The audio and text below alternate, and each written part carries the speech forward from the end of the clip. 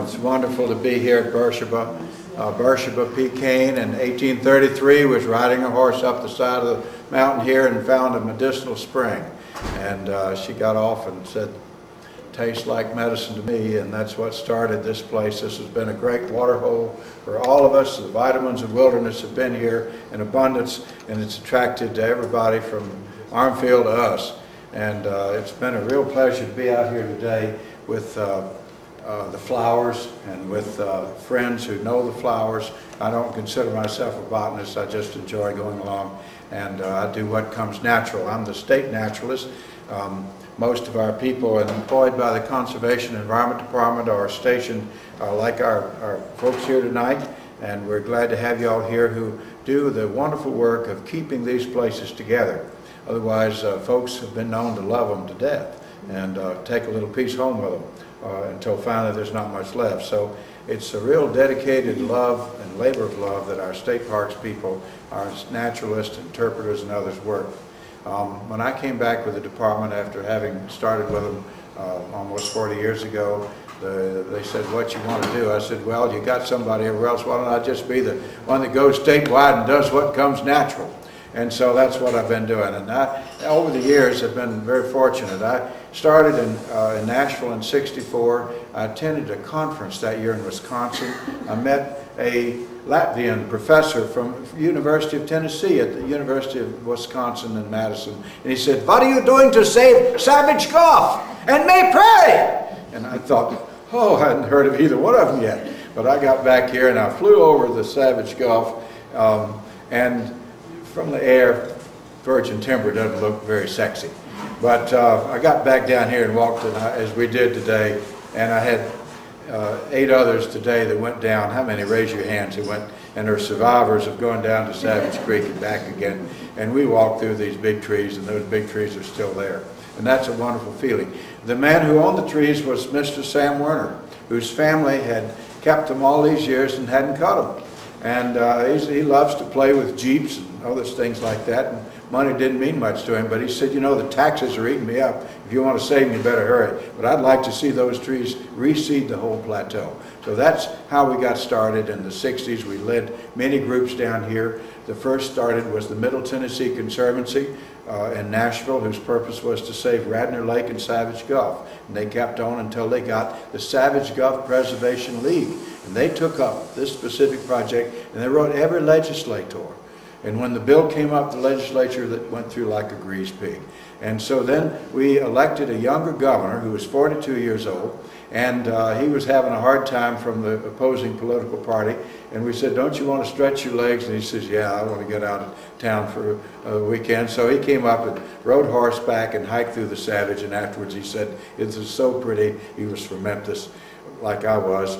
And flatland furners like us down there with web feet. We don't see much mountain country like this. So he said, just buy it. So we went to work. The uh, Secretary of the Interior and the Land Water Conservation Fund money and all that began to uh, look favorable. And the state also uh, organized a land conservation effort through the Conservation Department. So Savage Gulf is a present we gave ourselves. We first purchased 50, uh, let's see, the, for $50 an acre, the stone door out here.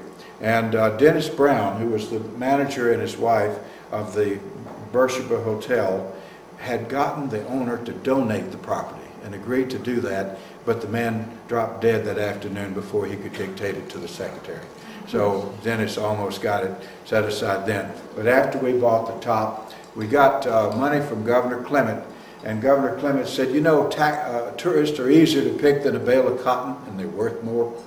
And so we were able to get a $5 million bond issue passed, which enabled us to buy Stone Door, Stone Fort at Manchester, Big Bone Cave, uh, Rock Island State Park, Roan Mountain in East Tennessee, and about uh, almost a dozen parks. So we really got a bargain for our money.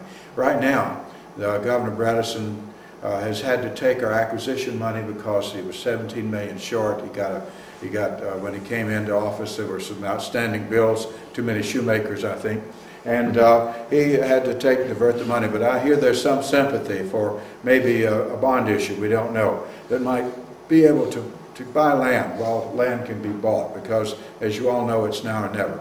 So I'm going to go ahead with our slides and uh, uh, look at some of these pictures, if we can have the lights down, and uh, we'll take a look, see, this is the new building here. I'm grateful to Cal Turner for uh, what he's done in con- uh, contributing to this. Uh, This mountain country up here, this, if ever there was a Cumberland Mountain Wonderland, we're sitting atop it right up here, and no wonder John Armfield and so many others have loved it. In the spring of the year, the mountain laurel are awful pretty, and I can't see to focus this, so if it doesn't do right, please readjust. But uh, the mountain laurel from the top of the Sewanee Domain uh, to the whole South Cumberland's area around here. This is uh, Scott Davis, the uh, leader of the Tennessee Nature Conservancy chapter. They have a great dream for this whole South Cumberland area that goes all the way into Alabama of trying to reconstitute the Carter Mountain property. Mr. Carter put together 80,000 acres, which uh, after his death was sort of split up among his heirs, but a lot of it's still there. It extends all the way up here to Monteagle and to our area. They also have a North Cumberland's initiative, and they have purchased about 5,000 acres out here of uh, area overlooking the, the, the bluff line, which is the sort of thing that Cliff Tops developers and Fairfield Glade developers really love. So we're fortunate that we have that support. And then there's another, I just want to start by saying the uh, South Cumberland Land Trust had uh, Dr. E.O. Wilson from Harvard, the great ecologist, come down, and uh, they took him out to a beauty spot on the Sewanee Domain, which is 10,000 acres, the largest uh, campus, I believe, of any, any university in the world.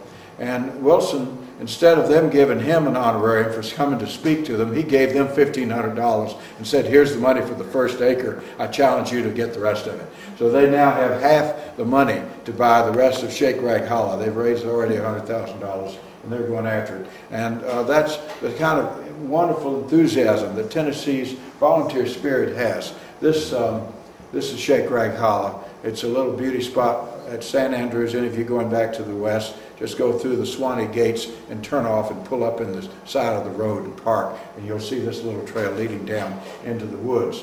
Now, the South Cumberland Land Trust has 1,100 acres that they are purchasing as a, as a complete block. One of my friends has a has a house out here.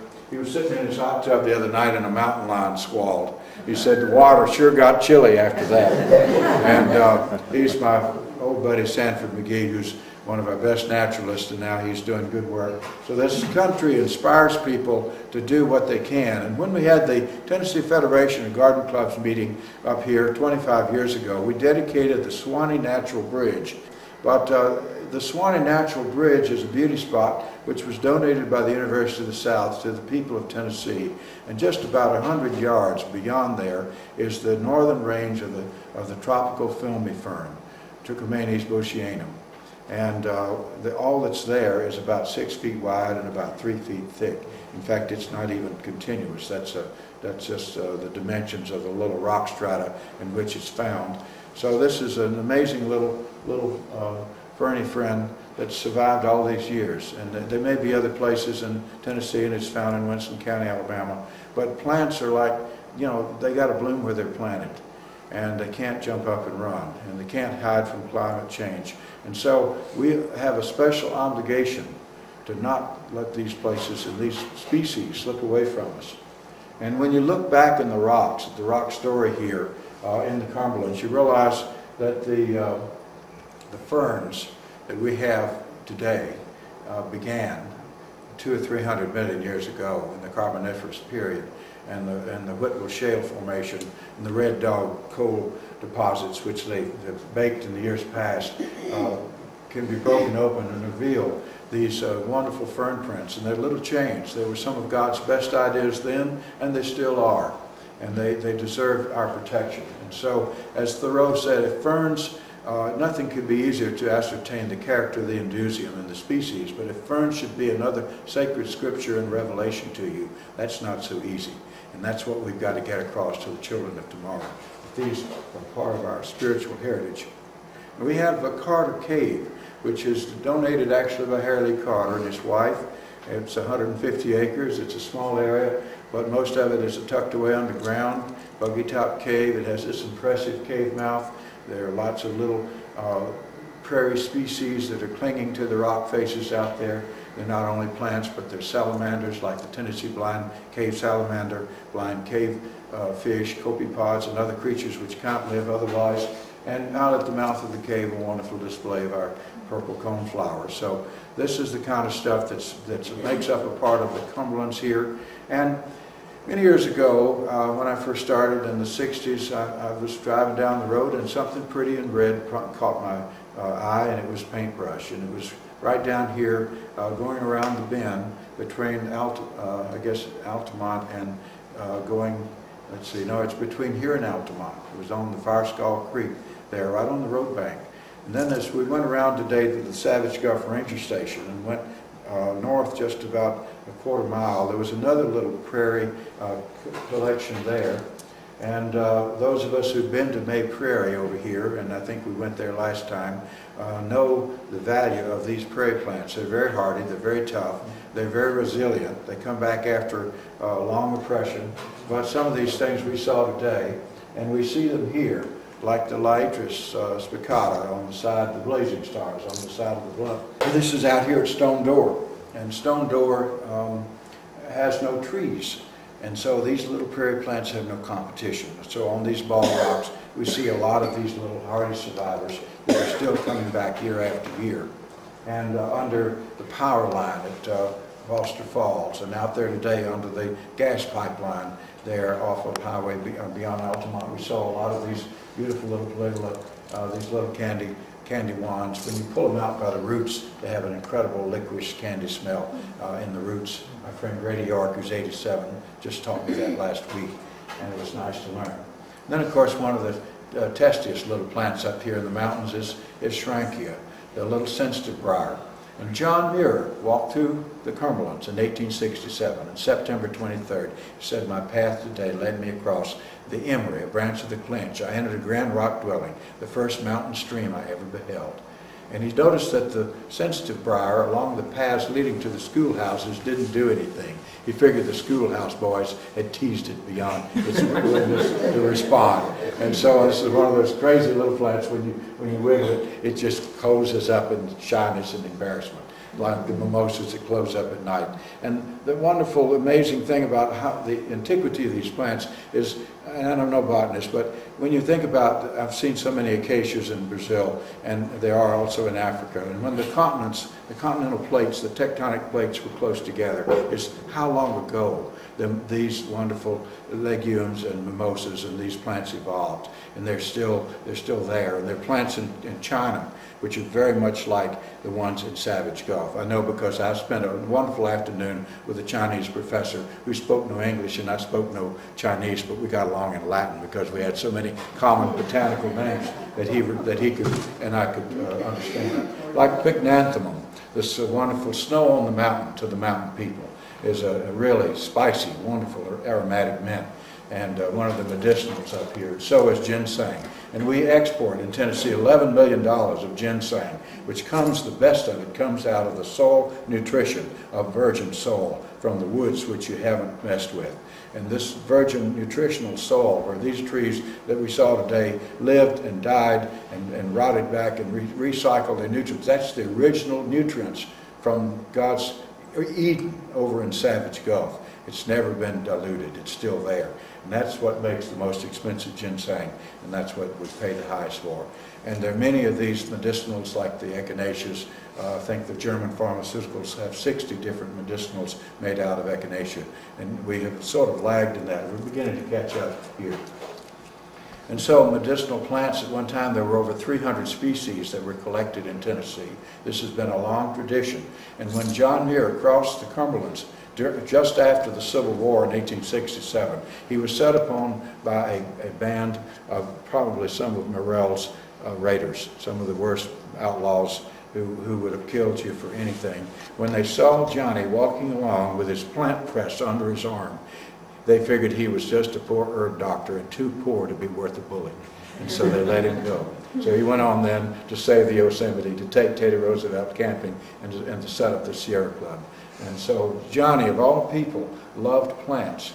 He took studies at the University of Wisconsin in botany and geology, and then he headed for the University of the Universe.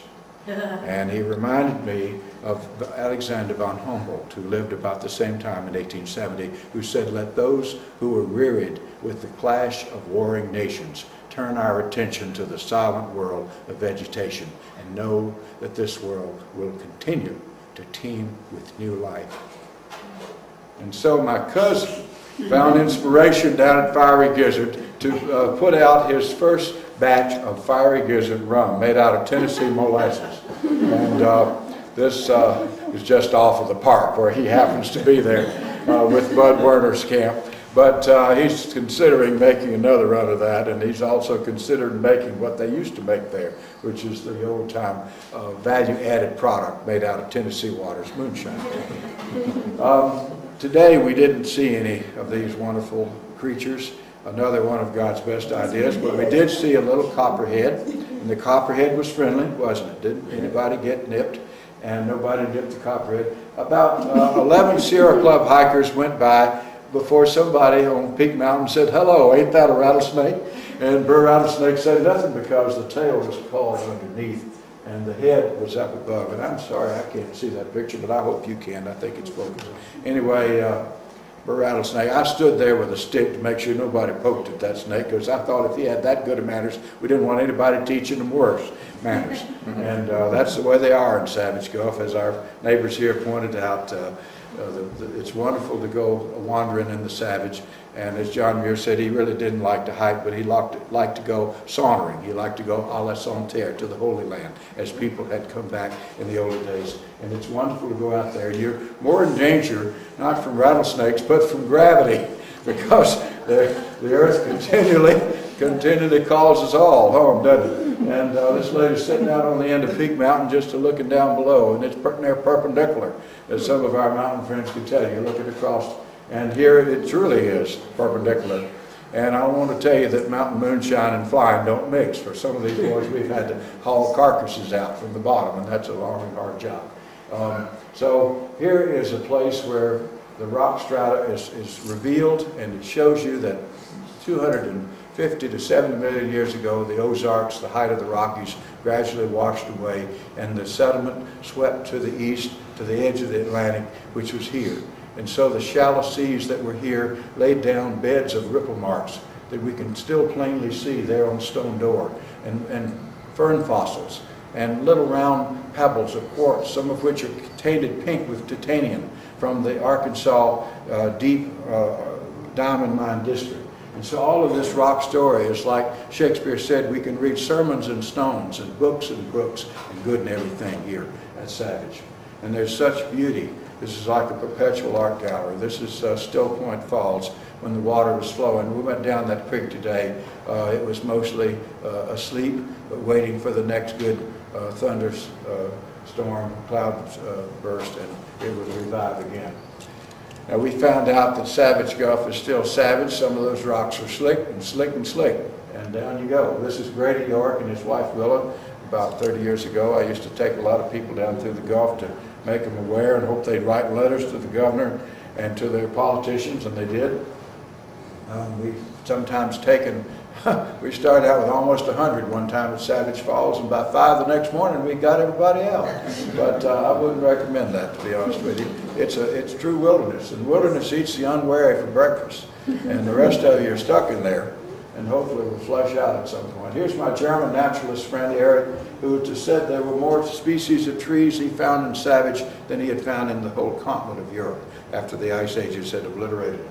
Here over his shoulder is a huge chestnut, which uh, had been burned out by bear hunters uh, from uh, years past. So imagine, he said, how this must have been at Savage when the big chestnut trees were six to eight to 10 feet in diameter.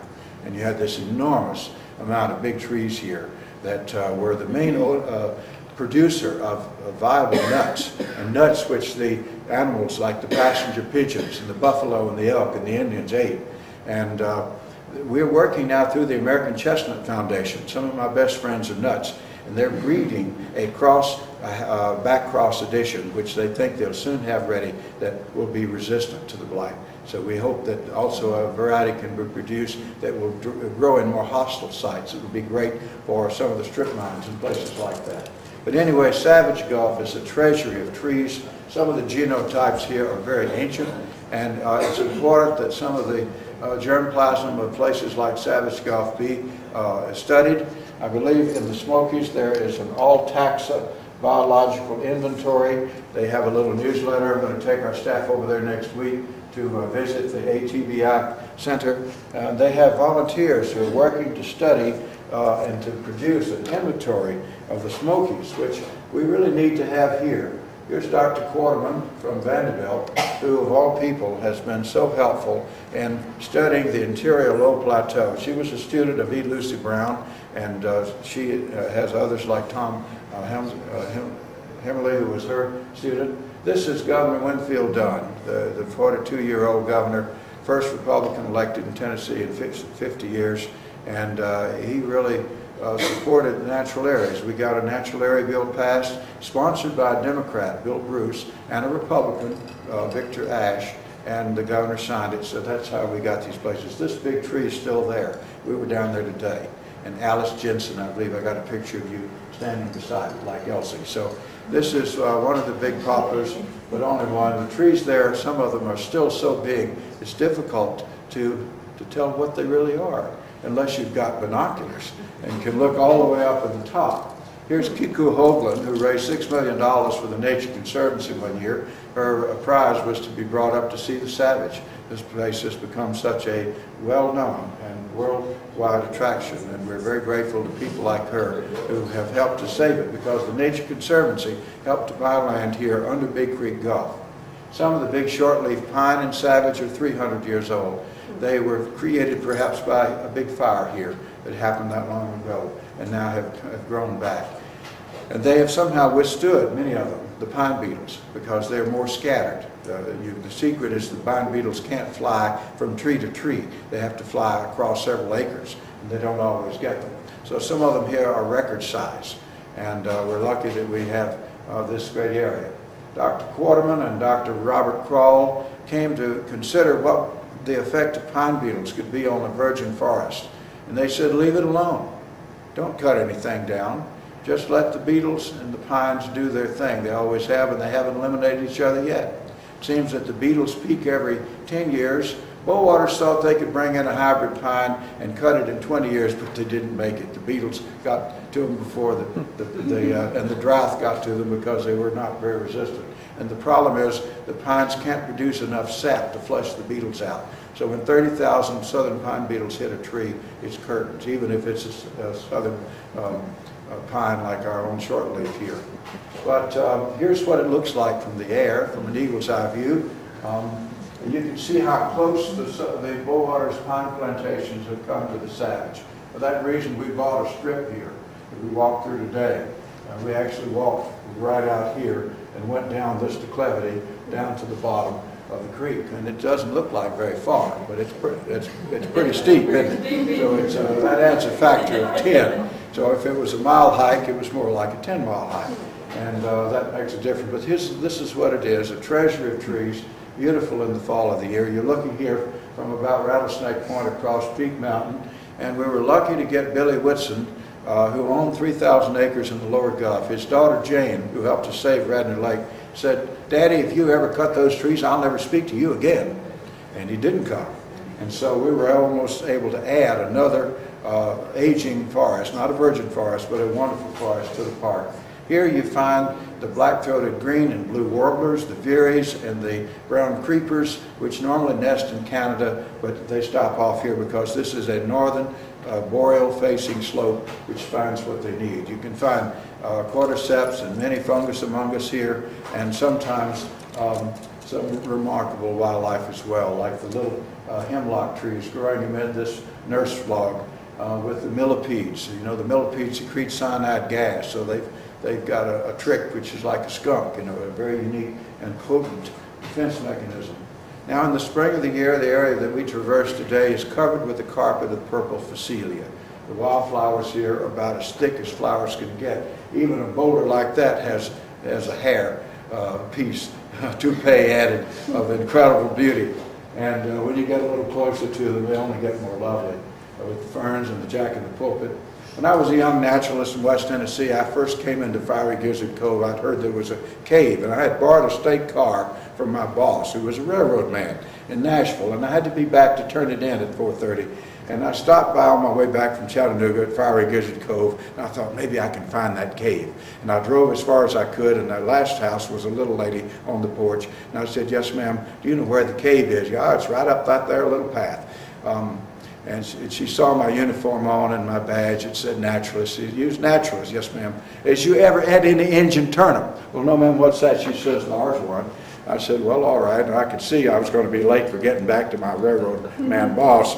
And so I thought I better speed this up. I said, what do they eat? She says, most generally they eat the root. So I got down there with my pocket knife and I got the root up and I chomp chomp. Oh! If any of you have ever had any Injun turnip, you know what a mistake I made because that has about 10,000 times concentration of oxalic acid and needles, like pins and needles, went all the way down wherever there was wetness. And I ran for the creek and tried to drink and dilute it, and it made it worse.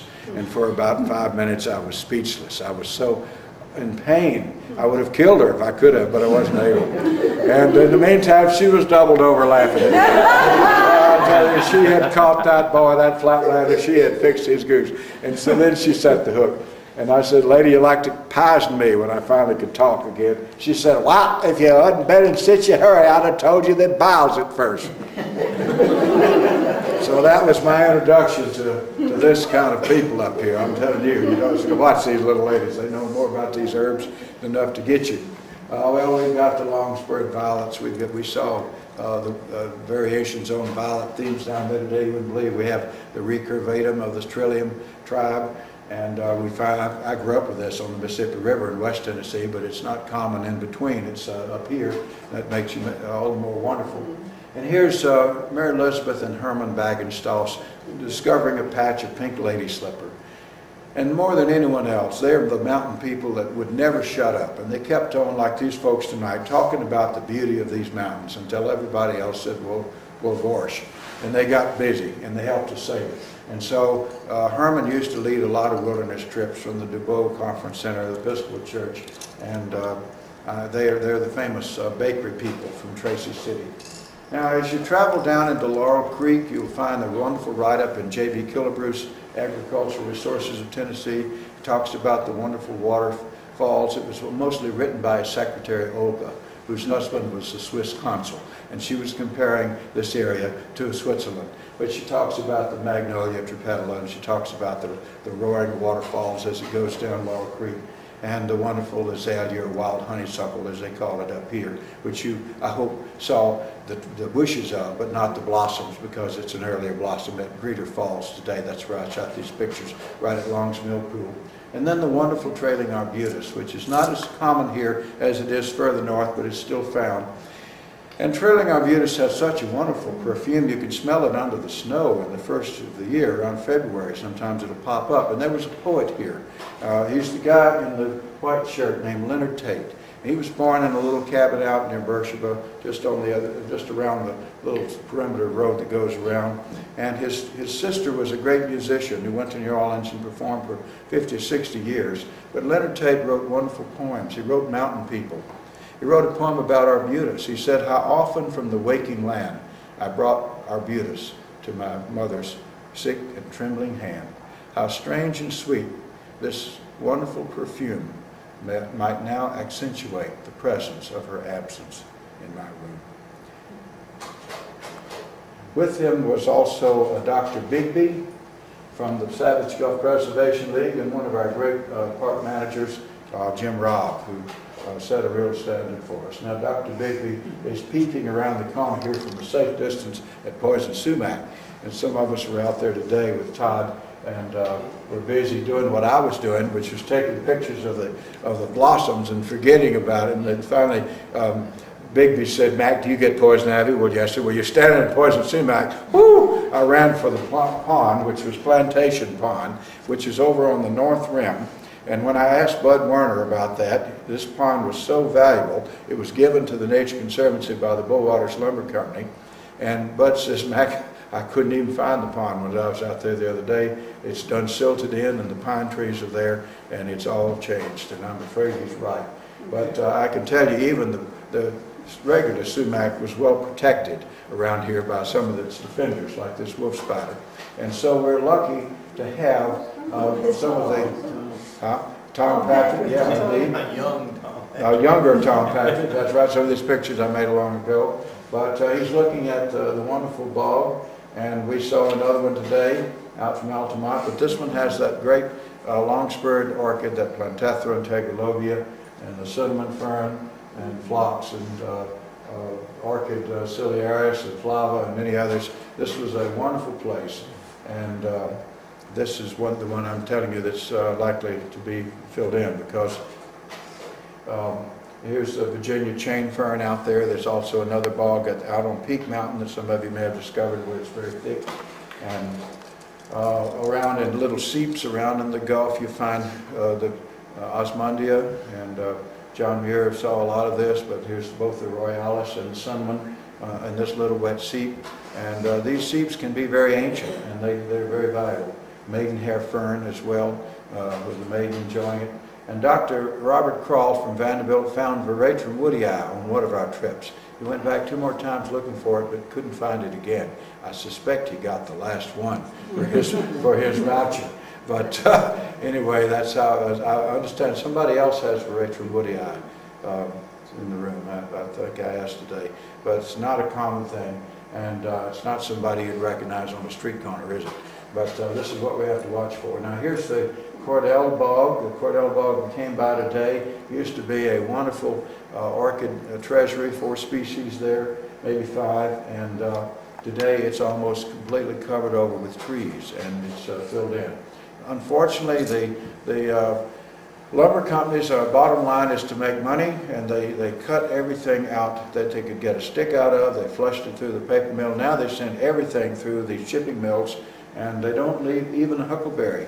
And this was this is between Savage Gulf and Collins River. They cut it down to the mineral soil, and the mud came off of it so bad that for the first time the caves underneath Savage Gulf plugged up, and the Savage Nursery on the lower end couldn't get out of their property. After 200 years, that was the first time they knew it, it flooded. So this is what's happening up here. The other thing now is the TVA is reopening. Uh, the Bush administration is pushing for more coal mines, and the Southern Energy Corporation seems to have the strongest lobbyists in the White House. They want to sell high sulfur coal, and they want to dig it right here. If they have to take the whole mountaintop off to get it, they're glad to do it, and can somehow make a profit. This is Piney Creek, which becomes Piney Falls in Fall Creek Falls State Park, a 19,000 acre park, which was within a mile of the huge 300 foot long coal shovels over here at Skyline Coal. If you want to see them, you go out the back way, Logger Cable Road today, where we were, and go up Highway 111. And they've shut them down because the last administration said this is unsuitable for mining. But we better watch because it could change in a heartbeat. Already we see signs up that say Savage Gulf Estates. And who wouldn't want to have a second home up here? And we are going to see more in the future if we're not careful uh, where we used to go, where wonderful bogs used to be. So the little bog that we saw out here under the gas pipeline, I bet if we took a hat and passed it around tonight, we could take up enough money to buy that little bog and the surface rights of that and keep it protected. And you need to stop uh, thinking about the fact that you're going to come back next year and it's going to be there, because next year you may be too late. It may be a hog farm, and this is what, or a chicken house. This Monteagle Falls, everything but what I'm showing you in this picture is now a subdivision. And the same thing's about to happen to Bridalveil Falls. It's on the market. Coolidge Rift is on the market. And here today and subdivided tomorrow. Greeter Falls, where some of you went today, uh, is already sold most of the lots on the south end. Azalea Cumberland cumberlandensis, discovered in Cumberland County for the first time by Paul Adams, who helped uh, survey the Smoky Mountain Park. Uh, this bush was just bulldozed uh, by the developer. And they didn't know it was there. They didn't know what it was. And this is what happened. Now, this is a shame because the nursery industry here in this neighborhood is, the, is one of the greatest in the world. And many of these things they're destroying are some of the most valuable species they could be perpetuating and uh, cultivating for the nursery trade. We need to get that across to them. The best way of, of conservation is propagation because they can make a profit at it. And so the, the uh, Savage Gulf League at one night over here passed the hat and took up enough to make one lot, to buy one lot for a parking lot. And some of you are up here on the mountain on October the 2nd. We're going to be meeting over uh, in the dining hall, and we're going to have another program like this on Saving Savage Gulf, and we invite you to come. That's at 6 o'clock here on October the 2nd. We- And it's an open meeting for anyone to come. So if you love Greeter Falls, if you love the mountain waters, if you love to hear mountain music from the mountains, if you want to have a place where this can continue, we have been able to hire um, some of the local mountain boys, and they have planted hemlock trees. And this is Jim Bailey, who I took in Savage Gulf, and uh, Charles Fleury, um, and they um, they love this area. This is the Grundy County Wilderness Society. The Savage, uh, the, and it's their family that sold us the Savage. It was his, uh, some of his folks. So they, they care, and uh, they're trying to help us restore the Fiery Gizzard Trail down to Foster Falls, which has been so popular. It's almost worn out, and we're having to rebuild parts of it and restore it. And so what we're trying to do here is to put together uh, an increased amount of land that we can protect and defend. Uh, We're north of here, up at uh, Altamont and Beersheba, but as you come down toward uh, Tracy City, we have the Grundy Lakes, the Grundy Forest. The first 200 acres was, was taken up with a collection by the CCC boys so they could have a camp there. A wonderful trail was laid out 50, 60 years later. It's very lovely. But the rest of it all goes across private property. This belongs to the Werners. The Werners and the Stanleys have just agreed that they might be willing to sell it, but uh, we've got to raise the money.